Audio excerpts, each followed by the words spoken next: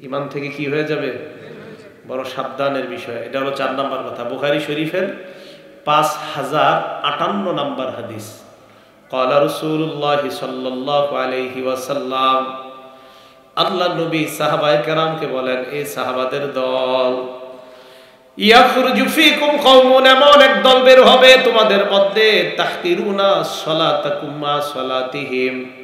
তাদের নামাজের কাছে তোমাদের নামাজ তুচ্ছ মনে হবে। তাদের রোজার কাছে তোমাদের রোজা তুচ্ছ মনে হবে। তাদের নামাজ হবে এত চমৎকার, এত বেশি নামাজ তারা পড়বে। সাহাবাদেরকে নবী বলেন, তোমাদের নামাজ তাদের কাছে তুচ্ছ মনে হবে। এমন রোজা তারা রাখবে, তোমাদের রোজা তাদের কাছে তুচ্ছ মনে হবে। ও আমালা কুম্মা আমালিহীন তোমাদের আমল তাদের আমলের কাছে তুচ্ছ মনে হবে। সাহাবারা অবাক হয়ে গেলেন, ইয়া রাসূলুল্লাহ, এটা আবার কোন সম্প্রদায়? আল্লাহ নবী জবাব দেয় কোরআন এরা কোরআন পড়বে, লা ইউজাবিজু হানাজিরহুম। কোরআন তাদের গলার নিচেও প্রবেশ করবে না। কোরআন তাদের পেটের মধ্যে ঢুকবে না।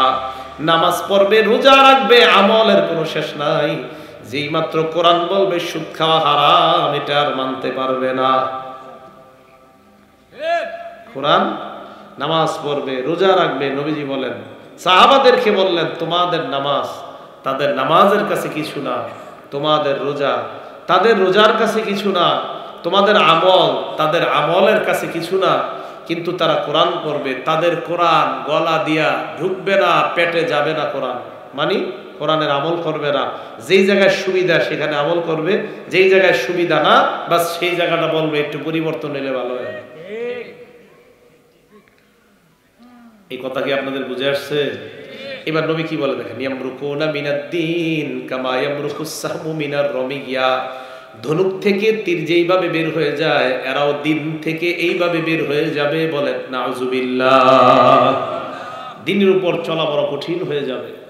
আল্লাহ আমাদের সকলকে দিনের উপর চলার তৌফিক দান করেন। পাঁচ নম্বর কথা, নবীজি বলেন, ওই জামানায় ইমানের উপর ধৈর্য ধারণ করে থাকা এতটা কষ্ট হবে, হাতের মধ্যে আগুন রাখা, জ্বলন্ত আগুন রাখা যতটা কষ্টকর হবে। হাদিসে কীভাবে আসছে দেখেন, আমি দেখাই। জ্বলন্ত আগুন এইভাবে ধরা আসছে, এইভাবে। হাতে রাখা আসে নাই। বলছে, এইভাবে জ্বলন্ত আগুন ধরে রাখা যতটা কষ্টকর হবে, ইমানের উপর থাকা এরকম কষ্টকর হবে, ধৈর্য ধারণ করা। এখন বলেন তো আপনাদের এই জায়গার কেউ কি পারবেন এইভাবে আগুন জ্বলন্ত আগুন ধরে রাখতে পারবেন এবার হাদিস শুনি তিরমিজি শরীফের তিন হাজার আটান্ন নাম্বার হাদিস তিরমিজি শরীফের তিন হাজার আটান্ন নাম্বার হাদিস قال رسول الله صلى الله عليه وسلم আল্লাহ নবী সূরা মাইদার 103 নাম্বার আয়াত তেলাওয়াত করলেন আয়াতের মধ্যে আল্লাহ বলেন, লা ইয়াদুররুকুম মান তাল্লা ইদা তাদাইতুম তোমরা যদি হেদায়েত পেয়ে যাও, পথভ্রষ্টরা তোমাদের কোনো ক্ষতি করতে পারবে না। এই আয়াত বলার পর আল্লাহর নবী ব্যাখ্যা করলেন, ইতামিরু বিল মারুফ। তোমরা নেক কাজের আদেশ করতেই থাকো। ওয়াতানাহাউ আনিল মুনকার। অসৎ কাজ থেকে তোমরা নিষেধ করতেই থাকো। জোরে বলেন, আমাদের কাজ কয়টা? আরও জোরে বলেন কয়টা? বলেন, নেক কাজের আদেশ করা। বলেন, কি? অসৎ কাজ থেকে নিষেধ করা। নবীজি বলেন, নেক কাজের আদেশ করতেই থাকবা, অসৎ কাজ থেকে নিষেধ করতেই থাকবা। করতে করতে যখন দেখবা, হাত্তা ইদা মুতাআ। যখন দেখবা কৃপণতাকে পূজা করা হয়, মানুষ কৃপণতা করাটাকেই পূজা করবে। দান করাকে মানুষ অধৈর্য মনে করবে, দান না করাটাকেই মানুষ পূজা করবে, মনে করবে টাকা যত আটকায় রাখা যায় ততই ভালো। দুই নাম্বার, ওয়াহাওয়ান মুত্তাবা মানুষ নফসের পূজা করবে, নফসের পূজা কিসের পূজা? বিশ বছর ধরে মসজিদের ইমামের পিছে নামাজ পড়ে, বিশ বছর পর ফজরের নামাজের পর বুখারি শরীফে হাদিস একটা পাইছে। হাদিসের মধ্যে আছে, আল্লাহর নবী ঘুম থেকে উইঠা গিয়া নামাজ পড়াইছে। উনি আইসা মসজিদের ইমাম সাহেবরে কয়, হুজুর, আজকের নামাজটা অজু সারা পড়ছি। ইমাম সাহেব কয়, কেন? কয় মাসালা আপনার জানা নাই। বোখারি শরীফে আজকে পাইছি, ফজরের আগে ঘুম থেকে উঠা অজু সারা আল্লাহ নবী নামাজ পড়াইছে, তাই আমিও ফজর অজু সারা পড়লাম। নফসের পূজা, ওই যে বোখারিতে পাইছে, আছে এরকম একটা হাদিস। নবীজি ঘুম থেকে উঠা নামাজ পড়াইছে, এটা বোখারির হাদিস, এটা সঠিক কথা। তো জনাবে এই ইমাম সাহেবের পিছিয়ে বিশ বছর নামাজ পড়ছে। এখন এই হাদিস পাইয়া আজকে থেকে অজু সারা পড়া শুরু। কারণ নবীজি পড়ছে। একটু আগেই তো আপনাদেরকে বললাম, নবীর চোখ ঘুমায়, অন্তর ঘুমায় না। আমাদের চোখও ঘুমায় অন্তর ঘুমায়। এই জন্য আমাদের উজু লাগে, নবীর যেহেতু অন্তর ঘুমায় না, এই জন্য নবী বুঝতে পারে ওনার উজু আছে না নাই। নবী যখন ঘুম থেকে উঠে উনি বুঝতে পারে আমার উজু আছে না নাই, তাই নবী উজু প্রয়োজন হলে উজু করে, উজু প্রয়োজন না হলে উজু করে না। আমার আপনার চোখ ঘুমায়, অন্তর ঘুমায়, আমাদের জানা নাই, তাই আমার আপনার অজু করতেই হবে। অজু ছাড়া নামাজ পড়লে বাড়ি একটাও মাটিতে পড়বে না। হেও নবী হইতে চায় বোখারি পড়ছে। হাওয়ান মুত্তাবা নফসের পূজা করবে। বোখারি শরীফ পড়তে আমি নিষেধ করি না, পইরেন। কোরআন পইরেন, হাদিস পইরেন, সব পইরেন। কিন্তু পইরা যেন নফসের পূজারি না হয়ে যায়। আপনি পইরা না বুঝলে আলেম আমাদেরকে জিজ্ঞাসা করেন যে, হুজুর এটার কি বুঝলাম না? নবীজি কেন এরকম ঘুম থেকে উইটা নামাজ পড়াইলো? এটা বুঝাই দেন, ঠিক না? এক নাম্বার ইজার আইতা সুহান মুতাআম যখন দেখবা তোমরা কৃপণতাকে পূজা করা হয়। দুই নাম্বার হাওয়ান মুত্তাবা যখন দেখবা নফসের পূজা করা হয়। তিন নাম্বার, ওয়া দুনিয়া মুআসসারাতা, দুনিয়াকে প্রাধান্য দেওয়া হয়। চার নাম্বার, ওয়া ইজাবা কুল্লি জি রাইন বিরাইহি, প্রত্যেকে নিজের মতটাকে মনে করবে এটাই সঠিক। সবাই নিজের মতটাকে মনে করবে এটাই সঠিক। সবাই নিজেরটাকে সঠিক মনে করবে। হঠাৎ করে শুরু করছে, আপনার নাবির এই জায়গায় হাত বাঁধা শুরু করছে। এতদিন পর তো নাবির নিচে হাত। নাবির উপরে হাত বাঁধলে নামাজ হয়ে যাবে। নাবির নিচে নামাজ হাত বাঁধলে নামাজ হয়ে যাবে। এরকম করার কথা হাদিসে আছে। কিন্তু আমার কথা হলো, আপনি এতদিন নাবির নিচে বাঁধছেন, এটা তো সহি ছিল। এই সহি ছাড়লেন কেন? একটা সঠিক আমল আপনি কেন ছাড়লেন? আপনি উপরে যেটা করেন, এটা ঠিক আছে, কিন্তু আপনি আগে যে সঠিক আমলটা করতেন, এটা কেন ছাড়লেন? একটা সঠিক আমল আপনি কেন ছেড়ে দিলেন? আহলে হাদিস ভাই থাকি থাকলে আপনাদেরকে আমি হিট করছি না। আমার কথা হলো, আপনি বিশ বছর একটা সঠিক আমল করে এই সঠিক আমল কেন ছাড়লেন? আপনি কি বুঝাইতে চান আমরা নাবির নিচে হাত দিয়ে আমাদের নামাজ হয় না? আপনি যদি এটা বুঝাইতে চান, তো এটা বইলেন না কখনো। এটা বইলেন না। এটা আপনি ভুলের মধ্যে আছেন। আমি সত্যি বলছি, আপনি ভুলের মধ্যে আছেন। হ্যাঁ আপনি এইভাবে নামাজ পড়লে আমি বলছি না আপনার নামাজ হয় না, নামাজ তো হয়েই যায়। কিন্তু এইটা ছাড়লেন কেন? এটা প্রশ্নটার জবাব আমার দেন। এইটা হলো আমার দুঃখ। আপনি তিরিশ বছর যাবত একটা সঠিক আমল করলেন, হঠাৎ কেন এই সঠিক আমল ছাইরা আরেকটা সঠিকে যাচ্ছেন কেন? ওইটা তো সঠিক ছিল, ওইটা তো থাকেন। কথাটা কি বুঝে আসছে? প্রত্যেকে তার মতটাকে মনে করবে এটাই সঠিক। নবীজি বলেন, এই অবস্থা যখন দেখবা, আলাইকা বিখাস সাতি নাফসিকা, তখন নিজের ইমান নিজে বাঁচাও। ওয়াদাইল আওয়াম, জনগণের চিন্তা ছেড়ে দাও। আহারে আলেম ওলামারা আপনাদেরকে হাতে ধরে, পায়ে ধরে বলে, সুদ খায়েন না, নামাজ ছাইরেন না, রোজা ছাড়বেন না। কত ভাবে বলে, একটা সময় আসবে তখন আলেমরা কিন্তু নবীর হাদিসের উপর আমল করে পাহাড়ের গুহায় গিয়ে নিজের ইমান নিজে বাঁচাবে। নবীজি বলেন, যখন দেখবা এই অবস্থা হয়, নিজের চিন্তা নিজে করবা, জনগণের চিন্তা তখন ছেড়ে দিবা। আল্লাহ নবী বলেন, তোমাদের পরে এমন একটা জামানা আসবে। যেই জামানায় সবুর করা নবী বলেন বিষ্ণুল কবজি আলাল জামরি, হাতের মধ্যে আগুন এইভাবে ধরে রাখা যেমন কষ্টকর, ওই জামানায় ইমানের উপর ধৈর্য ধারণ করা ততই কষ্টকর। আল্লাহ আমাদের সকলকে ইমান নিয়ে যেন কবরে যাইতে পারি, তৌফিক দান করে দেয় এখন যেই কথাটা বলব, এটা মন দিয়ে শোনেন। কি কয় নবীজি? দেখেন, লিল আমিলি ফিহিন্না মিসলু আজরি খামসিনা। এই কঠিন জামানার মধ্যে যদি কেউ আমল করে, আপনাদের কেউ যদি আমল করেন এই কঠিন জামানায় সুন্নতের উপর থেইকা বেদাত মুক্ত ভাবে যদি আমল করেন আল্লাহ নবী কয়, মিসলু খমসিনা রজুলা, মিসলু আজরি খমসিনা রজুলা। পঞ্চাশ জনের আমলের সোয়াব আপনার আমল নামায় দেওয়া হয়ে যায়। কয়জনের এবার সাহাবারা কি কয়, নবীরে দেখেন। হে আল্লাহর নবী আপনার কাছে জানতে চাই আপনি যে পঞ্চাশ জনের আমলের কথা বললেন সোয়াবের কথা, এই পঞ্চাশ জন কি আমরা সাহাবারা পঞ্চাশ জন, নাকি ওই মশাখালীর মানুষের পঞ্চাশ জন? বুঝলেন? হুজুর, এটা কি আমরা পঞ্চাশ জন? মশাখালী মানে আপনাদের এলাকার নাম বললাম। নাকি যেই জামানায় আমল করবে, ওই জামানার পঞ্চাশ জনের? মনে করেন আপনাদের এখানের একজন সুন্নত অনুযায়ী ঠিকভাবে আমল করলেন। তো সাহাবারা বললেন, হুজুর, ওই এলাকার পঞ্চাশ জনের সব পাবে না আমরা সাহাবারা যে পঞ্চাশ জন তাদের? আহ নবীজি বলেন বাল আজরু খমসিনা মিনকুম তোমাদের পঞ্চাশ জন আমল করলে যেই সওয়াব আমার উম্মত একজন আমল করলে ওই জামানায় তোমরা সাহাবাদের পঞ্চাশ জনের সওয়াব দিয়ে দিবে। এই জামানায়। তাহলে তো ওই জামানা কি আসবেন আমরা ওই জামানায় আসি? আসি এই জন্য আমল করা খুব বেশি আমল করা। আল্লাহ আমাদের সকলকে সুন্নত অনুযায়ী আমল করার তৌফিক দান করেন। ছয় নম্বর কথা তো হুজুর হকের উপরে কারা আছে? আপনি তো তিয়াত্তর দলের কথা বললেন বাহাত্তর দল জাহান্নামি একটা দল জান্নাতি ওই এক দল আমরা হতে চাই কি চাই না? এই এক দল হওয়ার আগে আমরা কোরআনের দুইটা আয়াত শুনব দুটি হাদিস শুনব এরপর আমরা বুঝব হক দল কারা। এটা হলো ছয় নম্বর আলোচনার মধ্যে দুইটা আয়াত আনব আমরা দুইটা হাদিস আনব। কোরআনের এক নাম্বার আয়াত সুরে মাইদা আয়াত নাম্বার তিন। আল্লাহ রব্বুল আলমিন বলেন আল্লাহমা আকমাল তুলাকুম দিনাকুম আজকে আমি তোমাদের জন্য তোমাদের দিন পরিপূর্ণ করে দিলাম। এই আয়াত হলো সুরায় মাইদার সুরায় আনআমের 153 নাম্বার আয়াতে আল্লাহ বলেন, ওয়া আন্না হাদা সিরাতি মুস্তাকিমা রাস্তা। এটাই হলো সঠিক রাস্তা। ফাত্তাবিউহু, এটার অনুসরণ তোমরা করো।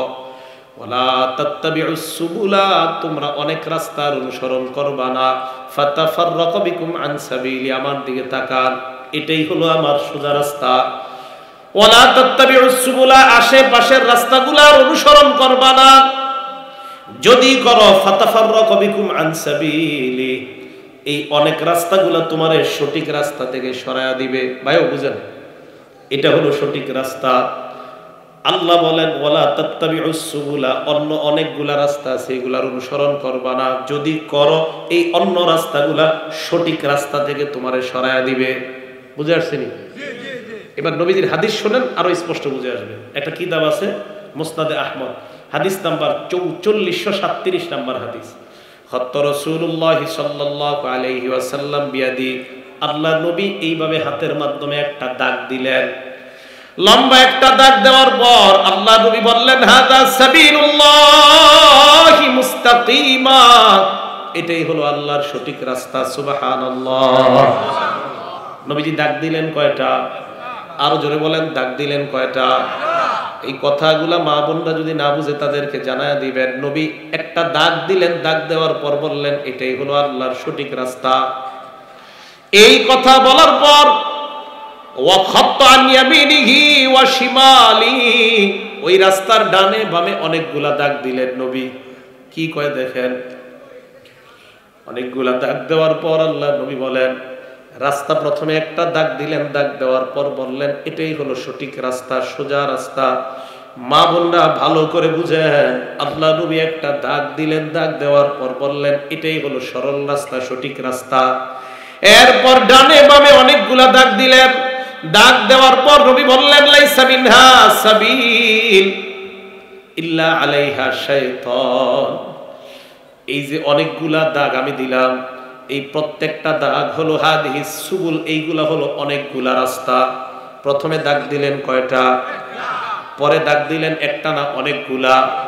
অনেকগুলা দাগ দেওয়ার পর বললেন, এইগুলা হলো অনেকগুলা রাস্তা। শোনো তোমরা, এই সব রাস্তার উপর একজন শয়তান আছে ইয়াদউহু ইলাই ওই শয়তান, প্রত্যেক শয়তান তার রাস্তার দিকে তার আহ্বান করে। আল্লাহর নবী একটা দিলেন দেওয়ার পর বললেন, এটা হলো আল্লাহর রাস্তা। আবার নবী একটা ডাক দিলেন দেওয়ার পর বললেন, এটা হলো আল্লাহর রাস্তা। আশেপাশে অনেকগুলা ডাক দিলেন, ডাক দেওয়ার পর বললেন, এইগুলা হলো অনেক রাস্তা। এই রাস্তার প্রত্যেকটার মধ্যে একটা শয়তান আছে। ওই শয়তান প্রত্যেকে তার নিজের রাস্তায় আপনারে ডাকে। আসো আমার দিকে। এই সোজা রাস্তার এই পাশে যেই রাস্তায় যান শয়তান খুশি। এই দিকে যান শয়তান খুশি। এই দিকে যান শয়তান খুশি। যেই দিকেই যাবেন শয়তান বলবে আমি আসি সমস্যা নাই আসো। আল্লাহ কয় রাস্তা ধরে একটা। আপনি ধরলেন আটটা।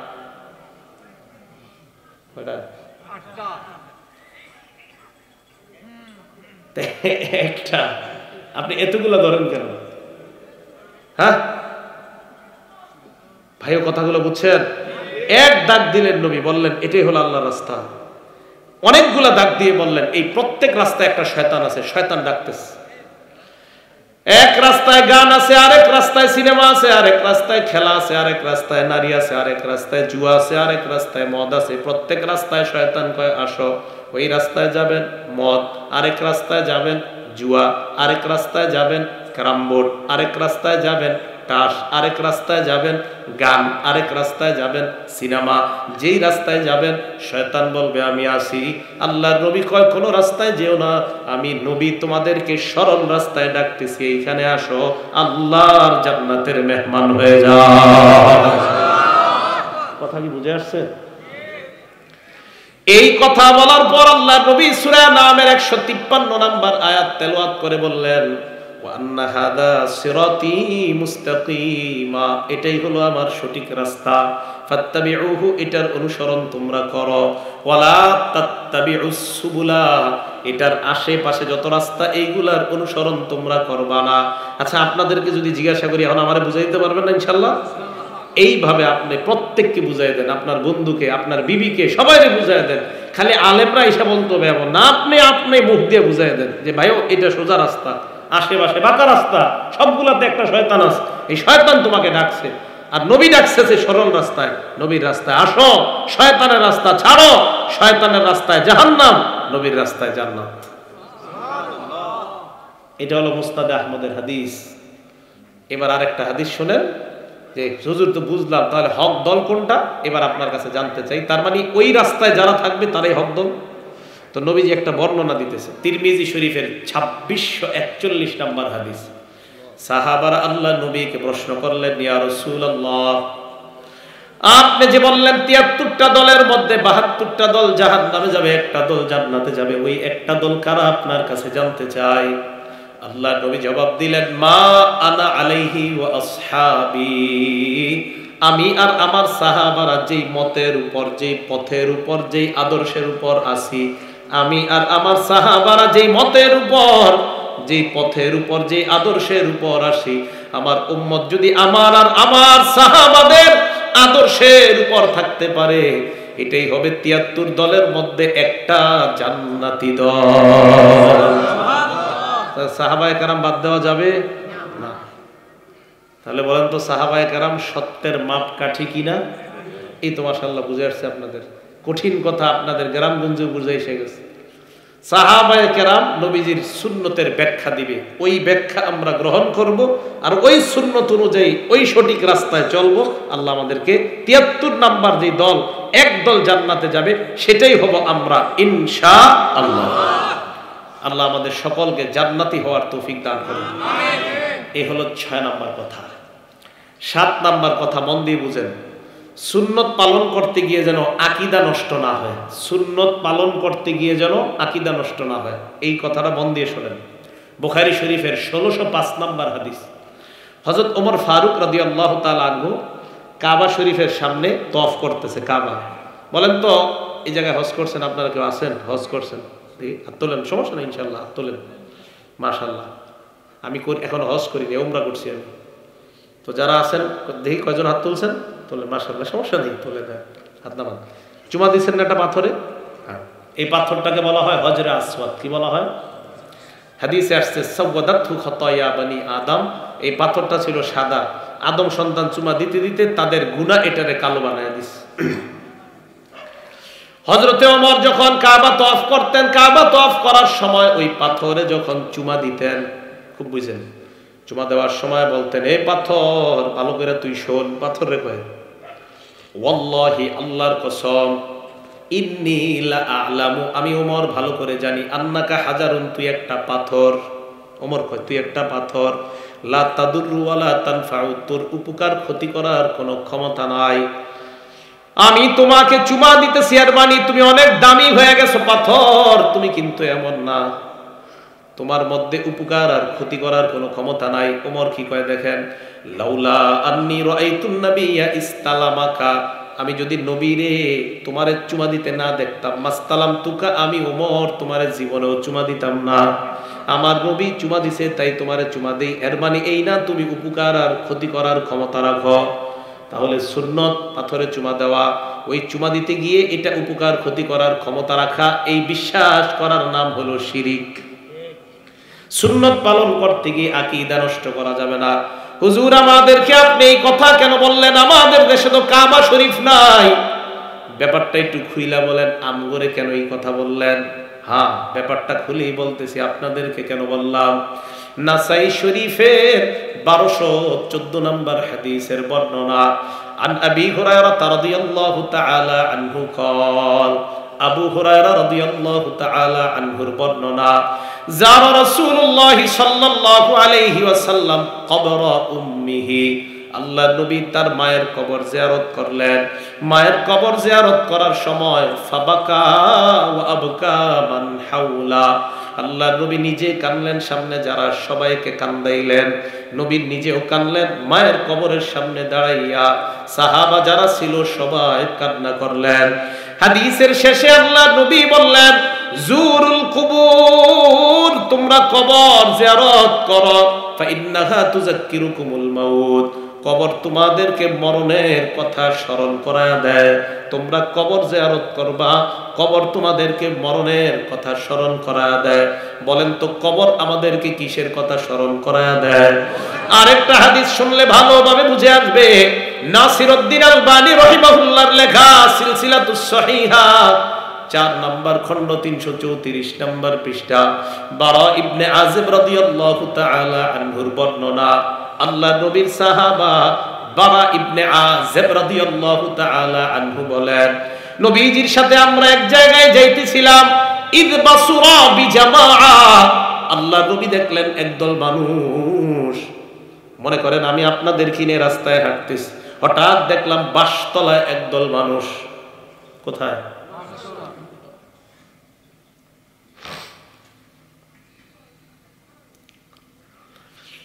নবীজি একদল মানুষ দেখলেন, দেখার পর আল্লাহ নবী বললেন, আলামা ইজতামা আলাইহি হাউলা, ওই মানুষগুলা ওই জায়গায় কেন জড়ো হয়েছে, একত্রিত হয়েছে কেন? সাহাবারা জবাব দিলেন, আলা কবরি ইয়াহফিরুনা। হুজুর, একটা কবর গর্ত করা হচ্ছে, ওই কবর গর্ত করার কাজে মানুষগুলা একত্রিত হয়েছে। নবীজি বললেন, কি? কয় কবর? এই জায়গাটা মন শোনেন। আমি এই জায়গা যখন আমি পড়ি, আমি হয়রান হই। ফাফাজি আর আল্লাহর পরে দুনিয়াতে এবং আখেরাতে যিনি শ্রেষ্ঠ, তিনি হলেন আমাদের নবী মোহাম্মদুর রসুল্লাহ সাল্লাহ আলহি ওসাল্লাম কোনো সন্দেহ নাই। এই নবী কবরের কথা শুই না, ঘাবড়ায় গেছে। কি খো জি হুজুর, কবর করতে পারো। হ্যাঁ কবর! হ্যাঁ বিশ্বাস করেন। মানে আমি দৃশ্যটা ভাবি যে কেমন ছিল। নবীজি বলতেছে কিছু কবর গর্ত করা হ্যাঁ কবর? হ্যাঁ হাদিসে কি আছে দেখেন? ফাবাদারবাইনা ইয়াদাই আসহাবিহি মুসরিআ। সাহাবাদেরকে দুই ভাগ করতে করতে কয়, শরত শরত দেখি। আমরা বলি না, কোনো আশ্চর্যজনক কিছু এই দেখি দেখি কি হয়েছে? সাহাবাদেরকে দুই ভাগ করতে করতে আল্লাহ নবী চলে গেলেন। যাওয়ার পর, জাসা আলা রুকবাতাইহি। পা দুইটা নিচে বসাইয়া হাঁটু গাইরা আল্লাহ নবী কবরের সামনে বসে যায়। কবর এখন গর্ত করা হচ্ছে, লাশ রাখা হয় নাই। বারা ইবনে আজেব বলেন, নবী কবরের সামনে বসলেন। এই যে মনে করেন কবরটা, কবরের মাটিগুলো এইখানে রাখা। আল্লাহ নবী এই পাশে বসলেন, ফাবাকা, বসে বসে বাচ্চাদের মতো কান্না করা শুরু করছে।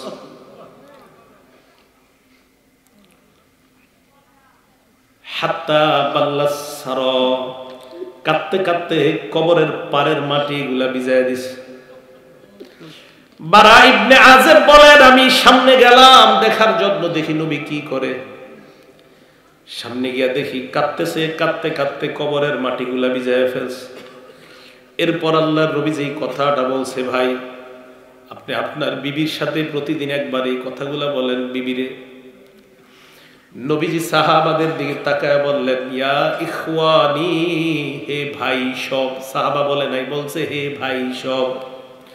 লিমিসলি হাজা ফাইদু নবী বললেন, এই কবরের জন্য তোমরাও প্রস্তুত হয়ে যাও। এবার বললেন, ভাই সব, এই কবরের জন্য তোমরা প্রস্তুত হও। এভাবে বললেন, ভাই সব, এই এই যে গর্তটা এবার দেখায় বললেন, এটার জন্য প্রস্তুত হও। কিন্তু আগামীকাল আমার আপনার গর্ত যে হবে না কি সম্ভাবনা? বলতে লাগলাম আল্লাহ নবী কবরের সামনে গেলেন, আমি আপনি গেলাম, যাওয়ার পর কবর জিয়ারত করলাম, নবীর সুন্নত পালন করলাম। কবরের সামনে দাঁড়ায় কবর ওয়ালাকে বললাম, আমার বিবির সন্তান হয় না, আমার বিবির পেটে সন্তান দিয়ে দাও, এটা শিরিক। তাহলে সুন্নত পালন করতে গিয়ে শিরিক করা, সুন্নত পালন করতে গিয়ে শিরিক করা। হজরতে অমর পাথরের দিকে তাকায় বলে, পাথর, তুমি উপকার আর ক্ষতি করার কোনো ক্ষমতা রাখো না। সাহাবায়ে কেরামের সাথে আল্লাহ নবী যে গাছের নিচে বায়াত নিয়েছেন হজরতে ওসমানের হত্যার ব্যাপারে। এই গাছটার নিচে যারা বায়াত হয়েছেন, তাদেরকে বলা হয় আসহাবুস সাজারা বায়াতটার নাম ছিল বাইআতুর রিজওয়ান। কেন? খবর ছড়ায় পড়ছে, ওসমান হত্যা হয়ে গেছে। ওসমানকে মাইরা ফেলছে। নবীজি বললেন, কি? হ্যাঁ ওসমান হত্যার বদনা না নিয়ে আমরা মদিনায় যাব না। সাহাবারা সবাই নবীর হাতে হাত রাখলেন। নবী নিজের হাতটা রাইখা বললেন, এটা উসমানের হাত। হ্যাঁ উসমানের পক্ষ থেকে আমিও হাত রাখলাম। তারপরে অবশ্যই ঘটনা প্রকাশ পাইছে যে উসমানকে মারা হয়নি, এটা একটা মিথ্যা খবর ছড়ায় পড়ছে। তো নবীজি চলে গেলেন। তো সাহাবারা পরে যখন হজে যাইতো, গাছের নিচে একটু বসতো, একটু আবেগ ভক্তি সহকারে বসতো। হজরতে ওমর কয় সর্বনাশ এই জায়গায় ভক্তি দেখায় কেন? ওই জায়গায় ভক্তি দেখায় কেন মানুষ? তাড়াতাড়ি কুড়ালান কাঠ বিশ্বাস করে আমারও মন চায় মাঝে মাঝে। আমাদের দেশের কিছু কিছু জায়গা যদি এরকম পারা যাইত তা আমাদের দেশ থেকে এই জাতীয় ভক্তি উল্টা পাল্টা ভক্তি উঠে যেত আল্লাহ আল্লাহ রসুল্লে এতবার ভক্তি করে না। নিজের আব্বারে এতবার আব্বা কয় না, আরেক বেড়ারে যতবার বাপ কয়। এরকম কিছু লোক পাইবেন বাবা বাবা বাবা বাবা করতে করতে সে নিজের আব্বারে এতবার আব্বা কয় না। কয়, দয়াল বাবা, দয়াল মা। দয়াল মা বুঝেননি, দয়াল বাবার বউ দয়াল মা। একজন হলো দয়াল বাবা আর দয়াল বাবার বিবি দয়াল মা। আল্লাহ আমাদেরকে হেফাজত করেন। ভাই, বুঝে আসছে? বলেন, সুন্নত পালন করতে গিয়ে কি নষ্ট করা যাবে না? আকিদা। বলেন, সুন্নত পালন করতে গিয়ে কি নষ্ট করা যাবে না? আকিদা। আল্লাহ আমাদের সকলকে সুন্নত পালন করার তৌফিক দান করেন। বেদাত থেকে বেঁচে থাকার তৌফিক দান করেন। সাত নাম্বার কথা। বেদাতের সংজ্ঞা, বেদাত কাকে বলে? বেদাত কাকে বলে?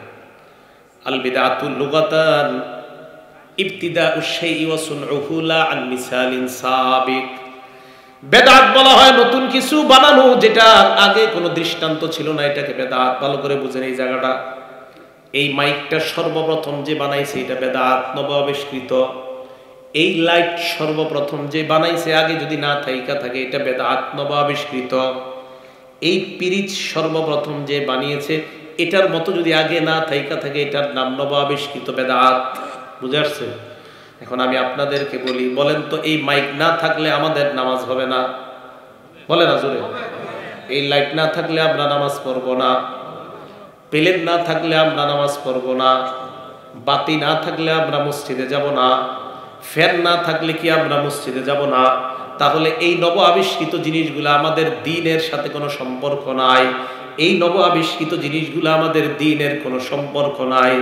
এই নব আবিষ্কৃত জিনিসগুলা বানানোর পর এটা আমাদের দিনের সাথে কোনো সম্পর্ক নাই, তাই ওইটা না জায়েজ না। লাইট আমাদের দিনের সাথে সম্পর্ক না। ফ্যান আমাদের ফ্যান না থাকলে আমরা নামাজ পড়ব, থাকলেও নামাজ পড়ব। লাইট থাকলেও নামাজ পড়ব, না থাকলেও না, বুঝাইতে চাইলাম, এই নতুন আবিষ্কৃত জিনিসগুলা, এটা আমাদের দিনের কোনো ক্ষতি করবে না। তাই এটা আমাদের জানা দরকার নাই, এই নব আবিষ্কৃত। তাহলে কোনটা করা যাবে না? পারিভাষিক সংজ্ঞা বেদাতের আত্মা আব্দুল্লাহ বিমা আলম আল্লাহর জন্য এমন এবাদত করা যেটা আল্লাহ বৈধ করে নাই।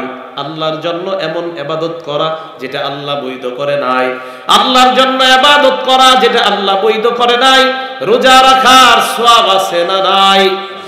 আপনি এত বড় বুজুর্গ, ঈদের না ঈদের দিন আপনি রোজা রাখলেন। কিসের দিন? ঈদের দিন আপনি রোজা রাখলেন, বলেন তো, রোজা রাখার হুকুম কার? এখন আপনি আল্লাহর জন্যই ঈদের দিন রোজা রাখলেন। হ্যাঁ এই তো বুঝে আসছে। ফজরের নামাজ ফরজ ফরজ কয় রাকাত? আপনি যেহেতু নামাজ পড়তেই হবে, ফরজ নামাজ দুই রাকাত কেন? আপনি চার রাকাত পড়লেন ফজর? কেন আপনি একটু বেশি বাড়ায় বললেন? তাহলে এবাদত আল্লাহর জন্য করা, কিন্তু আল্লাহ যা বৈধ করে নাই তা যদি করা হয়, এটার নাম বেদাত। ভাইও বুঝে আসছে? এবাদত আল্লাহর জন্য করছেন, আল্লাহ বৈধ করে নাই, এটা বেদাত। তাহলে এতটুকু বুঝলাম আমরা। বেদাতের আবিধানিক পারিভাষিক সংজ্ঞা বুঝলাম। এখন বেদাতের একটা মূলনীতি সারা জীবন মনে রাখব। বুখারি শরীফ, এটা হলো আট নাম্বার কথা। বুখারি শরীফের হাদিস নাম্বার ছাব্বিশশো সাতানব্বই নাম্বার হাদিস। قال رسول الله صلى الله عليه وسلم আল্লাহ নবী বলেন মান আহদাসা ফি আমরিনা হাদা মা লাইসা ফিহি ফাহুয়া রাদ্দুন আমাদের এই দ্বীনের মধ্যে আমাদের ইসলামের মধ্যে কেউ যদি নতুন কিছু বানায় আমাদের ইসলামের মধ্যে নামাজ কয় রাত কয় ওয়াক্ত বলেন কেউ যদি ছয় ওয়াক্ত বানায় আমাদের ইসলামের মধ্যে ঈদ কয়টা কেউ যদি তিনটা বানায় আমাদের ইসলামের মধ্যে নামাজ পাঁচ যদি ছয়ক্ত বানায় বেদাত, আমাদের ইসলামের মধ্যে ঈদ হলো দুইটা। কেউ যদি দেয়ালে লিখে আর একটা বানায়, এটার নাম বেদাত। ইসলামের মধ্যে রোজা রাখা, সারা বছর রাখা যায় আছে কেউ যদি ঈদের দিন আর কোরবানি ঈদের তিন দিন দিন সহ মোট চার দিন যদি পাঁচ দিন হারাম দিন কেউ রোজা রাখে, এটার নাম বেদাত। সারা বছর পাঁচ দিন যদি কেউ রোজা রাখে, হারাম দিন এটার নাম বেদাত। আমার নবী যা করে যায় নাই, ওইটা যদি আপনি করেন, এটার নাম হয়ে যায় বেদাত। সুন্নতকে সুন্নতের জায়গায় না রেখা, অন্য জায়গায় যদি রেখে দেন, এটার নাম বেদাত। আমাদের নবী বললেন আজানের পর তোমরা দুরুদ পড়বা, দুরুদের পর তোমরা দোয়া পড়বা। আপনি এত বড় নবীর ভক্ত, আপনি আজানের আগে দুরুদ পড়লেন। নবী কইছে আজানের পরে পড়ো। আপনি আজানের আগে পড়লেন। বুখারির বর্ণনা, আজান সম্পর্কে অনেকগুলা বর্ণনা আছে বুখারিতে। বুখারির ছয়শো চার, বুখারির ছয়শো আট, বুখারির ছয়শো বাহান্ন, বুখারির ছয়শো এগারো, বুখারির ছয়শো চোদ্দ, সবগুলা আজানের ব্যাপারে মুসলিম শরীফের সাতশো ছত্রিশ, মুসলিম শরীফের সাতশো আটত্রিশ, সবগুলা হাদিস আজানের ব্যাপারে। আল্লাহ নবী বলেন, আজানের পর দুরুদ পড়বা দুরুদ পড়ার পর দোয়া পড়বা। সল্লু আলাইয়া সালাতা। আজানের পর যদি দুরুদ পড়ো, একবার আমার উপর দুরুদ পড়বা। তোমার উপর আল্লাহ দশটা রহমত নাজিল করে দেয়। তোমার জিন্দিগির দশটা গুণা আল্লাহ মাফ করে দেয়। তোমার জীবনের দশটা মর্যাদা আল্লাহ বাড়া দেয়। নবী বললেন, আজানের পর দুরুদ পড়তে। আপনি আজানের আগে পড়লেন, সুন্নত হলো আজানের পর। আপনি আজানের পরের সুন্নতটা নিয়ে গেলেন, আজানের আগে এটার নাম হলো বেদাত। ভাইও বুঝে আসছে? সুন্নতকে সুন্নতের জায়গায় না রাইখা, আরেক জায়গায় নিয়ে গেলে এটার নাম বেদাত। এই তো মাসাল্লাহ আপনাদের বুঝে আসছে। আমি মঞ্চে আসার আগে একজনে কইছিল, হুজুর, একটু বাতিল নিয়ে আলোচনা করে। আমি টেনশন হয়েছিলাম এই গ্রামগঞ্জে বুঝব কিনা? কিন্তু বুঝা যাইতেছে, আপনাদের চেহারা দেখে বুঝতেছে। তো রসুল করিম সাল্লাহ আলি সাল্লামের সুন্নতটাকে ওনার জায়গায় যেই জায়গায় করতে বলছে, আপনি ওখানে না কইরা আরেক জায়গায় করলে বেদাত এই তো বুঝে আসছে। বিসমিল্লা তো রসুল করিম সাল্লাহ আলি সাল্লাম বেদাতের সংজ্ঞা দিয়ে দিলেন, আমাদের দিনের মধ্যে যা আমি নবী রেখে যাই নাই, যদি কেউ নতুন কিছু বানায়, এটা প্রত্যাখ্যাত এটা প্রত্যাখ্যাত, এটা পরিত্যাজ্য, এটাকে আমরা পরিত্যাগ করব। এই হলো নয় নম্বর কথা। দশ নম্বর কথা, বেদাতের ভয়াবহতা, এই জায়গাটা মন দিয়ে শোনেন। এই ব্যাপারে চারটা উদাহরণ আপনাদের সামনে পেশ করব, বেদাতের ভয়াবহতা নিয়ে চারটা হাদিস বলব। এক নাম্বার, আবু দাউদ শরীফের চার হাজার ছয়শো সাত নাম্বার হাদিস। দুই নাম্বার, নাসাই শরীফের আঠারোশো পনেরোশো আটাত্তর নাম্বার হাদিস। তিন নাম্বার, বুখারি শরীফের ছয় হাজার পাঁচশো ছিয়াত্তর নাম্বার হাদিস। চার নাম্বার, বুখারি শরীফের আঠারোশো সত্তর নাম্বার হাদিস। এই চারটা হাদিস বলব, বেদাতের ভয়াবহতা সম্পর্কে মন দিয়ে শোনেন। এক নাম্বার, নবী সাল্লাহ আলি সাল্লাম একদিন নামাজ পড়াইলেন। এর বাজরাজি আল্লাহ তাআলা আনহু বলেন, আকবালা আলাইনা নামাজ পড়ানোর পর আমাদের দিকে ফিরলেন। আমাদের দিকে ফিরার পর আজানা বালিগাতা আল্লাহ নবী একটা চমৎকার ভাষণ দিলেন। নবীজি জ্বালাময়ী একটা বক্তব্য দিলেন, জারাফাত মিনহাল উয়ুন যেই বক্তব্যে সাহাবাদের সবার চোখ দিয়ে পানি পড়ছে। ওয়া ওয়াজিলাত মিনহাল কুলুব যেই বক্তব্য শুই না, সাহাবারা ভয় পায় শুরু করছে, ভয় পাইতেছে। নবীজি বললেন, শোনো তোমরা, ফাইন্নাহু মাইয়াইশ মিনকুম বাদি, ফাসায়ারা ইখতিলাফান কাসীরা। আমার পরে যারা দুনিয়াতে বেঁচে থাকবে, তারা মতভেদ আর মতভেদ দেখবে, খালি দল আর দল দেখবে, এই দল সেই দল, দলের শেষ থাকবে না। নবীজি বললেন, ওই জামানায় কি করবা? আলাইকুম আমার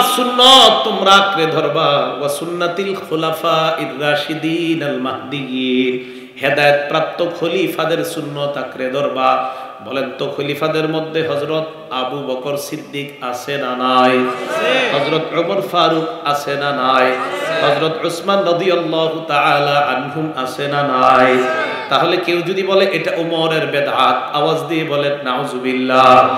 কেউ যদি বলে এটা উসমানের বেদাত, আওয়াজ দিয়ে বলেন, নাউজুবিল্লাহ। হ্যাঁ মাইকের সামনে বৈশা বলা হয়, এটা উমরের বেদাত। মাইকের সামনে বৈশা বলা হয়, এটা উসমানের বেদাত। আমার নবী বললেন, আমার সুন্নত আঁকড়ে ধরবা। হেদায়েত প্রাপ্ত খলিফা সাহাবাদের সুন্নত তোমরা আঁকড়ে ধরবা। তামাসাকু বিহা, আদু আলাইহা বিন তোমরা মারির দাঁত দিয়ে এই সুন্নতগুলা আঁকড়ে ধরবা। মারির দাঁত দিয়ে সুন্নতগুলা আঁকড়ে ধরবা ভালোভাবে যেন ছুটতে না পারো। কারণ দেখবা মতের শেষ নাই, দলের শেষ নাই। ওই জামানায় কোন আল্লাহ আলমের সান্নিধ্যে যাও, যাওয়ার পর তার পরামর্শে চলতে থাকো। আমি তো বলি, মোবাইল যত কম ব্যবহার করবেন, ততই আপনার লাভ। যত বেশি ব্যবহার করবেন, ততই আপনার লস আর লস মোবাইল যত এই জামানায় চালাবেন, মাথার মধ্যে উল্টাপাল্টা সব আপনার ঘুরতে থাকবে। সকালে হুজুরে গিয়ে বলবেন, হুজুর, সকালে এটা পাইলাম। দুপুরে গিয়ে বলবেন, হুজুর, আরেকটা পাইলাম। মাগরিবের সময় গিয়ে বলবেন, আমি আরেকটা পাইলাম। আমি বলি, আপনি কোরআন, সুন্না অনুযায়ী মোটামুটি ভাবে পাঁচ ওয়াক্ত নামাজ পড়েন, রমজান মাসের রোজাগুলা আদায় করেন। কি হয়, সি হয়, এইগুলা দেখার আপনার এত দরকার নাই।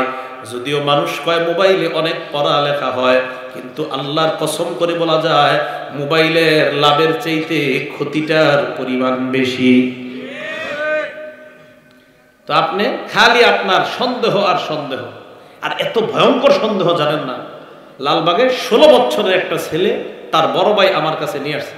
আসার পর কয়, হুজুর, আমার এই ভাইটা উমক পীর সাহেবের ভক্ত যে কোনো একজন পীরের নাম বলছে। বললাম, সমস্যা কি? কয়, হুজুর, সে নামাজ পড়ে না। আমি বললাম, কেন নামাজ পড়ো না? ওই ছেলেটাকে বললাম, কয়, নামাজ মানুষে দেখায় কেন করমু মানুষে হ্যাঁ হাসির কথা না, কষ্টের, চিন্তার কথা। আমি বললাম, নামাজ কেন পড়ো না? কয়, আপনারা নামাজ পড়েন মানুষে মসজিদে দেখায়, আমি কেন দেখায় নামাজ পড়ব? আমি বললাম, কি বলো তুমি? হ্যাঁ আমি দেখা এই জন্য আমি দেখায় নামাজ পড়ি না। আমি বললাম, তুমি নামাজ পড়নি, না দেখায়। কয় হ্যাঁ পড়ি। আমি কই, বাসায় পড়ছো তোমার ভাই বোন কেউ দেখছে কিনা? কয় ভাই বোনরা দেখলে আর নামাজ হইল কিনা? কীভাবে বলো তুমি? কয়টা বলা যাবে না। বুঝলেন? এক। তো বুঝাইতে বুঝাইতে যে কোনো একজন পীর সাহেবের নাম বলছে, আমি বলব না। তো বলল, আমি বললাম, এটা তো অন্যায়। তুমি যে এগুলা করতেছো, এটা অন্যায়। আপনার সমস্যা আছে কিনা? এইগুলা মাইনা যদি আমি জাহান নামে যাই জামু আপনার কি সমস্যা? হ্যাঁ এই কথা আমার বলছে। তার ভাইয়ের সামনে, দুইজনের সামনে এই কথাটা আমার বলছে। ওই যে নবীজি বলছে, বেদাত যার শরীরে ঢুকবে, জলতঙ্ক রোগীরে কুত্তা কামড় দিলে যেমন করবে, তার পুরা শরীরে এরকম ছেয়ে যাবে। হ্যাঁ এটা নবীজি বলছেন, এটা নবীজির কথা সাল্লাহ আলি সাল্লাম। আল্লাহ আমাদেরকে বেদাত থেকে বেঁচে থাকার তৌফিক দান করেন। এরপর আল্লাহ নবী বললেন নব আবিষ্কৃত জিনিস থেকে তোমরা বাঁচবা। আমি একটু বাড়ায় বলি, দিনের মধ্যে নব আবিষ্কৃত জিনিস থেকে বাঁচবা, কারণ এগুলো তো নব আবিষ্কৃত লাইট তা আমরা তো এটার সম্পর্ক না। দিনের মধ্যে, ইসলামের মধ্যে নব আবিষ্কৃত জিনিস থেকে তোমরা বাঁচবা। ফাইন্না কুল্লা মুহদাসাতিন বিদআ ইসলামের মধ্যে নব আবিষ্কৃত সব হলো বেদাত ওয়াকুল্লা বিদআতিন দলালা, প্রত্যেক বেদাত হলো পথভ্রষ্টতা। বলেন আমার সাথে, প্রত্যেক বেদাত পথভ্রষ্টতা। প্রত্যেক বেদাত পথভ্রষ্টতা নাসাই শরীফের বর্ণনা আল্লাহ নবী বলেন, পনেরোশো আটাত্তর নাম্বার বর্ণনায়, ওকুল্লু দলালাতিন ফিন্নার। আর প্রত্যেক পথভ্রষ্টতার ঠিকানা হলো জাহাদ নাম আল্লাহ নবী বলেন, দিনের মধ্যে, ইসলামের মধ্যে নতুন কিছু হলো বেদাত। বেদাত হলো পদভ্রষ্টতা, পদভ্রষ্টতার ঠিকানা হলো জাহাদ নাম এই এলাকার সকলকে আল্লাহ বেদাত থেকে হেফাজত করেন। সারা বাংলাদেশের মুসলমান, সারা দুনিয়ার মুসলমানদেরকে বেদাত থেকে আল্লাহ হেফাজত করেন। কথা কি বুঝে আবু বকর সিদ্দিক আমাদের নবীকে একটা শিখাইলেন, পড়েন আমার সাথে আলা আলা মুহাম্মাদ, কামা সাল্লাইতা আলা ইব্রাহিমা। وعلى آل إبراهيم إنك حميد مجيد পারেন সবাই এটা জানি কই পড়ে মাশাল্লাহ একটু মন দিয়ে শোনেন কথাটা দুনিয়ার শ্রেষ্ঠ মানুষ আসমানের নিচে জমিনের উপর আখেরাতেও যিনি শ্রেষ্ঠ মানুষ এই শ্রেষ্ঠ মানুষটা শ্রেষ্ঠ উম্মতকে একটা দুরুদ শিখাইছে দুনিয়ার শ্রেষ্ঠ মানুষ শ্রেষ্ঠ উম্মতকে একটা দুরুদ শিখাইছে আমি আপনাদের কাছে জানতে চাই, দুনিয়ার শ্রেষ্ঠ মানুষ, শ্রেষ্ঠ উম্মতকে যে দুরুদটা শিখাইছে, এই দুরুদ আমাদের পড়া দরকার আছে না নাই? এইটা বাদ দিয়া নিজের একটা বানাইলাম। হ্যাঁ? এলাকায় চলতেছে তো। এই যেগুলা চলে, এগুলা করতে আসছে? মাশাল্লাহ তো আপনার, আপনারাই ফতুয়া দিয়ে দিতেছেন, তার মানে বুঝে আসছে আমাদের নবী শিখাই দিছে যেটা, দুনিয়ার শ্রেষ্ঠ মানুষকে। এইটা আমরা না পইরা নিজেদের বাপ দাদায় বানাইছে একটা, এটা পড়ি আমরা। বেদাত মাসাল্লাহ তাহলে বেদাত পরিত্যাজ্য, বেদাত করব না। বেদাত থেকে বেঁচে থাকার তৌফিক দান করেন। বুহারি শরীফ, হাদিস নাম্বার ছয় হাজার পাঁচশো ছিয়াত্তর নাম্বার হাদিস। নবীজি কি বলে দেখেন? কলা রসুল্লাহ সাল্লাহ আলহি ওসাল্লাম আল্লাহ নবী বলেন, আনা ফারতুকুম আলাল হাউজ কেয়ামতের ময়দানে হাউজে কাউসারের সামনে আমি থাকব। আমার উম্মত যদি এক ঢোক হাউজে কাউসারের পানি পান করে লামিয়াজমা আবাদা, জান্নাতে যাওয়ার আগে আর পিপাসার্থ হবে না। আমার উম্মত জান্নাতে যাওয়ার আগে আর পিপাসার্থ হবে না। হাউজে কাউসারের পানি পান করানোর পর আমি হাউজে কাউসারের সামনে দাঁড়ায় থাকব, উম্মতকে পানি পান করানোর জন্য। আল্লাহ নবী বলেন রিজালুম মিনকুম তোমাদের মধ্য থেকে একদল মানুষ আমার সামনে আনা হবে পানি পান করানোর জন্য। আমি নবী, তাদেরকে পানি পান করাইতে গেলে আমার সামনে থেকে তাদেরকে ছিনায় নিয়ে যাওয়া হবে। আমার সামনে আনবে। আনার পর তাদেরকে ছিনায় নেওয়া হবে। আমি বলব, আল্লাহ আরেক বর্ণনায়, উম্মতি উম্মতি মাবুদ এটা তো আমার উম্মত, আমার উম্মতকে আমি পানি পান করাবো। আল্লাহর পক্ষ থেকে জবাব দেওয়া হবে ফাইন্নাকালা তাদেরই মা আহদাসু বাদাকা। আপনি জানেন না, আপনার পর দুনিয়াতে আর ইসলামের মধ্যে কত বেদাত বানাইছে আপনার জানা নাই। এই কথা শোনার পর আল্লাহ নবী বলবেন, সুহকন লিমান গায়্যার দিনী আরেক বর্ণনায়, লিমান বাদ্দালা দিনী সর আমার সামনে থেকে দূর হও। আমার ধর্ম তুমি পরিবর্তন করেছ। যেই নবী প্রথম বলবে, আমার উম্মত আমার উম্মত ওই নবী শেষে বলবে, আমার সামনে থেকে দূর হও দূর হও বলেন, নাউজুবিল্লাহ বড় সাবধান। আল্লাহ বলবে, এরা বেদাত বানাইছে দুনিয়াতে। নবীজি বলবে, সর, ইসলামের মধ্যে নতুন নতুন জিনিস বানাইছে দুরুদ আমি শিখাই দিয়ে আসছি, আর বাপ দাদা মিলে একটা দুরুদ বানাইছো, কই পাইছো এটা? আমি তোমাদেরকে দুরুদ রেখে গেলাম দুনিয়াতে, এটা ভালো লাগে না। বাপ দাদা একটা বানায় দিছে, আমার দুনিয়া থেকে বিদায় নেওয়ার ছয়শো বছর পর একটা কেমনে না কেমনে বানাইছো, এখন এটাই তোমরা শুরু করছ। প্রত্যেক বছর রবিউল আউ্বাল মাস আসলে এগুলো তোমরা শুরু করো। আল্লাহর কাছে দাঁড়াইতে। হবে ভাইও কথা বুঝে আসছে? তাহলে কি বেদাত করা যাবে? নবীর সুন্নত পালন করতে হবে। আল্লাহ তৌফিক দান করেন।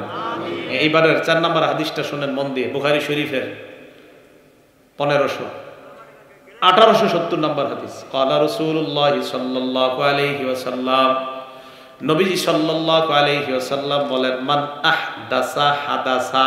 কেউ যদি বেদাত বানায় দিনের মধ্যে যদি কেউ বেদাত বানায় কেউ যদি কোনো বেদাতিকে আশ্রয় দেয় প্রশ্রয় দেয়। আপনাদের কেউ যদি কোনো বেদাতিকে আশ্রয় দেন, প্রশ্রয় দেন। আবার বলছি, আপনাদের কেউ যদি কোনো বেদাতিকে আশ্রয় দেন, প্রশ্রয় দেন। বেদাতিকে দিনের মধ্যে যারা নতুন কিছু বানায়, তাদেরকে যদি আশ্রয় দেন, প্রশ্রয় দেন। আপনি আপনি, লানাতুল্লাহি আলাইহি ওয়াল মালাইকা ওয়ান নাসি আজমাইন। আপনার উপর আল্লাহর অভিশাপ, ফেরেশতাদের অভিশাপ, সমস্ত মানুষদের অভিশাপ বলেন, নাউজুবিল্লাহ। জি। কোন বেদাতিকে আপনি আশ্রয় দিলে আপনার উপর আল্লাহর ফেরেশতা সমস্ত মানুষের অভিশাপ। হাদিসে আসছে, নবীজি বলেন, মান ওয়াক্কারা সাহিবা বিদআ কেউ যদি কোনো বেদাতিকে সম্মান করে, ফাকাদ আদা আলা হাদামিল ইসলাম। এই ব্যক্তি ইসলাম ধ্বংস করার জন্য সহযোগিতা করল।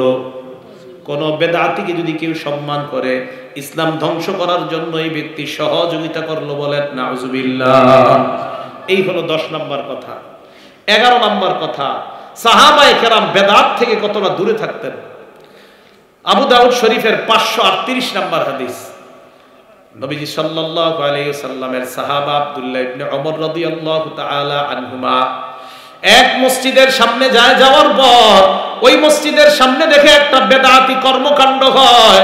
আব্দুল্লাহ ইবনে ওমর বললেন খুরুজ বিনা আমাদেরকে নিয়ে এই জায়গা থেকে সর। ফাইন্না হাদিহি বিদআ।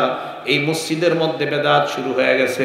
জনগণ ভবিষ্যতে বলবে, নবীর সাহাবা আব্দুল্লাহ ইবনে ওমরের সামনেই তো বেদাত হইছে, আমারে বেদাতের দলিল বানায়া দিবে। তাড়াতাড়ি এইখান থেকে সর, এইখান থেকে দূর হও। দেখছেন? এই যে ইউটিউবার ভাইয়েরা, একবার আমাদের কবি মাদ্রাসার আলেমরা তো বেদাত পছন্দই করে না। তো এক মাহফিলে গেছে বেচারায় ওই মাহফিলে যাওয়ার পরে মাহফিলের নিশ্চিত আমি এটা আমার মনে হচ্ছে, ওই মাহফিলের পক্ষ থেকেই কোনো একটা কৌশলে ওই জায়গায় বেদাতি কাজ শুরু করছে মানে হুজুরে বাধ্য করাবে করাইতে। হুজুর তো আর জানে না বেচারায় গেছে ওখানে। তা যাওয়ার পর আমি এরকম তিন চার জায়গায় পড়ছি, এরকম আপনার মানে আপনার ওই পরিবেশে পড়ে গেছি। পড়ার পরে আলহামদুলিল্লাহ কোনো না কোনো কৌশলে বের হয়ে এসে পড়ছি। একবার ব্রাহ্মণবাড়িয়া এই জাতীয় এক কাহিনীতে পড়ে গেল আল্লাহর কাছে খালি দোয়া করি, আমি প্রধান বক্তা। ব্রাহ্মণবাড়িয়া মাসাল্লাহ একটা এলাকা ব্রাহ্মণবাড়িয়া। তো যে এলাকাতে এরা আমি খালি দোয়া করি, আল্লাহ, এই এরা তো শেষের দিকে কিছু কিছু এমন বেদাত করবে, আর আমার ছবি যদি দেখে আমি তো দলিল হয়ে যাব। আল্লাহ কি করি? হঠাৎ আল্লাহ একটা বুদ্ধি দিচ্ছে খুব সুন্দর বুদ্ধি। এটা দুই বছর আগের কথা। বুদ্ধিটা কইলেই ওই এলাকার জনগণ বুঝবে, ওই তারিখে তো আমগোয়ানি মাহফিলটা ছিল আপনার। এই জন্য আর বলব না। পরের দিন আমাদের বাংলাদেশে একটা বিশাল বড় ঘটনা ঘটছে। ওই অজুহাত দেখাইলাম, ভাই, আজকে যদি ঢাকা তাড়াতাড়ি না যাই, সমস্যা হইতে পারে। কো হো তো আপনার তাড়াতাড়ি যাওয়া উচিত। তাড়াতাড়ি মোনাজাত দিয়া, মোনাজাত দিই নেই। বয়ান শেষ করে বললাম, আপনাদের ইমাম সাহেব ইনশাল্লাহ আখিরি মোনাজাত করবে। গাড়িতে উঠার আগেই দেখি মাসাল্লাহ কাজ শুরু হয়ে গেছে ওখানে।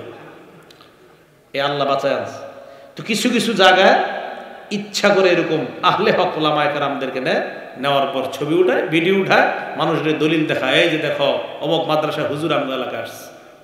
হুজুরে দলিল বানায়। তো এই বেচারা ওই জায়গায় শুরু হয়েছে বাস এটা ইউটিউবে এসে পড়ছে। এখন ইউটিউবে দেখা গেছে। কয়, আরে এই হুজুর এরকম বেদাতিদের ইয়াতে গেছে। তো হুজুর তো আর জানে না। এই জন্য আপনারা অনেক সময় ফোন দিলে যদি ফোন না ধরি বা বলা হয়, ভাই, আপনার পরিচয় আসব না। কারও পরিচয় দেন যে আসতে হয়। কোহো, আপনি অনেক অহংকারী। হ্যাঁ আপনি আইনে আমার আকাম করাইবেন আর আপনি কিছু বলে অহংকারী। আপনার পরিচয় ছাড়া আপনি কেন আমাকে দাওয়াত দিবেন? আমি বলে দিচ্ছি, এটা ইউটিউবে দিবেন ভালো করে। কোনো পরিচয় ছাড়া আমি কোথাও যাই না। পরিচয় ছাড়া। পরিচয় দিতেই হবে। ওই এলাকার কে চিনে? ওই যিনি আমাকে চিনে, উনি পরিচয় দিতে হবে যে, না, আসব না। পরিচয় ছাড়া আপনি আমাকে নিবেন, নেওয়ার পর উল্টা পাল্টা কাজ হবে আপনাদের এলাকার, আর পর আমাকে দলিল বানাবেন। এটা অসম্ভব। তো কথা নবীজি সাহাবা আব্দুল্লাহ ওমর বলেন সবাই যেখান থেকে, এখানে বেদাত হচ্ছে, তাড়াতাড়ি, আমাকে দলিল বানাবে তারা। তো ওলামায়ে কেরাম কেন এইসব জায়গা ত্যাগ করতে চায়? ওই যে আব্দুল্লাহ ইবনে ওমর, উনি দেখছে বেদাত যেখানে হবে, আমি দলিল হয়ে যাবে নবীর সাহাবা, তাড়াতাড়ি সর। এই জন্য ওলামায়ে কেরাম আপনারা দাওয়াত দিতে গেলে হয়তো ওনারা কিছু শর্ত বলে, ভাই, ওই এলাকার কোনো আলেমকে দিয়ে ফোন দেওয়ার, ওই মসজিদের কোনো খতিব সাহেবকে দিয়ে ফোন দেওয়ার, বা ওই এলাকার বিখ্যাত আলেম যাকে চিনে ওই এলাকাবাসী এমন কাউকে দিয়ে ফোন দেওয়ার, তখন আপনারা বলেন, হুজুর সাধারণ লোকদের সাথে কথা বলতে চায় না, অহংকারী, বিষয়টা এমন না, বিষয়টা হলো আপনারা যে সাধারণ জনগণ মাঝে মাঝে কোথাও কোথাও নিয়ে এমন এমন ঘটনা ঘটান যে ঘটনার কারণে ওলামায় কারাম এখন সতর্ক, এখন সাবধান। এখন আপনারা বলেন তো, এই সাবধানতাটা কি ভালো না খারাপ? তো বললাম, এগারো নাম্বার, নবীর সাহাবারা বেদাত সহ্য করতেন না। হুজাইফা ইবনুল ইয়ামান রাদিয়াল্লাহু তাআলা আনহুর বর্ণনা। হুজাইফা ইবনুল ইয়ামান রাদিয়াল্লাহু তাআলা আনহু বলেন, কুল্লু ইবাদাতিন লাম ইয়াতাআব্বাদহা আসহাবু রাসূলিল্লাহি সাল্লাল্লাহু আলাইহি ওয়াসাল্লাম ফালা তাআব্বাদুহা। প্রত্যেক ওই এবাদত যেই এবাদত নবীর সাহাবারা করে নাই, ওইটাও তোমরা কইরো না। প্রত্যেক ওই এবাদত যেই এবাদত নবীর সাহাবারা করে নাই, তোমরা সেটা করবা না। হাসান ইবনে আতিয়া বলেন, কোন এলাকার মধ্যে যদি একটা বেদাত শুরু হয়, জোরে বলেন কয়টা বেদাত?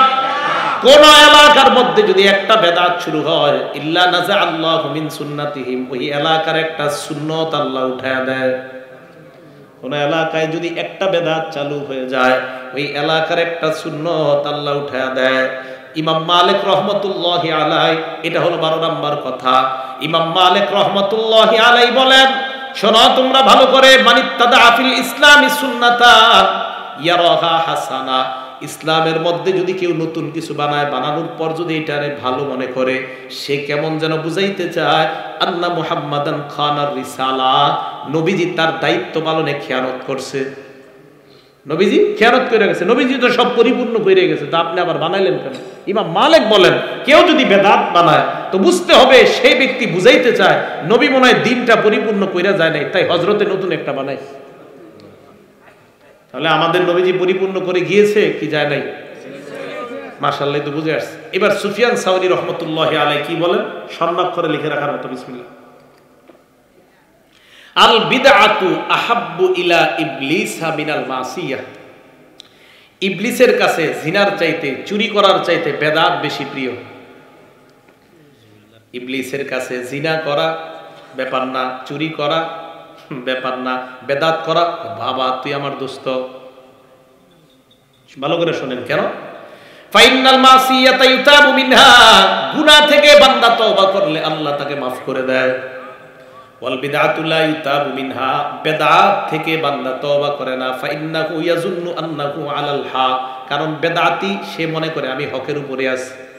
এই জন্য বেদাতি কখনো তওবা করে না।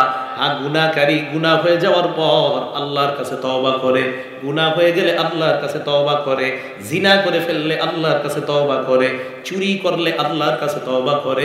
বেদাতি যখন বেদাতি করে, তওবা করে না, কারণ সে মনে করে আমি হকের উপর আছি। বেদাতি যখন তার বাপ দাদার বানানো, যত চোদ্দ বছরের বিলাপ পড়তে থাকে বাপ দাদার বানানো দুরুদ পড়তে থাকে সে মনে করে আমি হকের উপরে আছি, জিন্দিগিতেও তওবা করবে না। এই জন্য ইবলিস কয়, জিনা করা ব্যাপার না, চুরি করা বা কোনো ব্যাপার না, বেদাত কেউ করছে ওই এলাকায় মাসাল্লাহ তুই আমার দোস্ত। প্রিয়, খুব ভালো, কারণ ইবলিস জানে যে এরা তওবা করবে, তুই তো তবা করবি না। কথাগুলো কি বুঝে আসছে? তাহলে বেদাত সব ক্ষেত্রেই পরিত্যাজ্য। বাতিল কোনো অবস্থাতেই অনুপ্রবেশ করতে পারবে না। এই জন্য আল্লাহ রব্বুল আলমিন সুরায় আম্বিয়ার আঠারো নম্বর আয়াতে বলেন আমি আল্লাহ হকের মাধ্যমে বাতিলকে ইডা মারি, নিক্ষেপ করি। হকের মাধ্যমে বাতিলকে এইভাবে আমি আল্লাহ নিক্ষেপ করি। হক বাতিলকে চূর্ণ বিচূর্ণ করে দেয়। আল্লাহ বলেন, আমি হককে বাতিলের উপর নিক্ষেপ করি। এই হক বাতিলকে চূর্ণ বিচূর্ণ করে দেয় আল্লাহ পাক রব্বুল আলমিন আমাদের সকলকে। বেদাত মুক্ত জীবন যাপন করে হক যেন এলাকায় আমরা প্রতিষ্ঠিত করতে পারি, বেদাত থেকে সম্পূর্ণ রূপে এই এলাকা যেন আমরা মুক্ত করতে পারি। আল্লাহ তৌফিক দান করেন। আমিন ওয়াখির দাওয়ানা আনিল হামদুলিল্লাহ রব্বিল আলমিন।